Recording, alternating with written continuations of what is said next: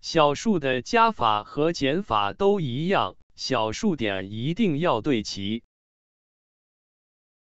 零点四的后面要加零，这样才不会把十分位的数字写在百分位。要解答这种题目，空格里的数目会比零点九一小，所以我们要拿大的数目减小的数目。就是零点九一减零点六三。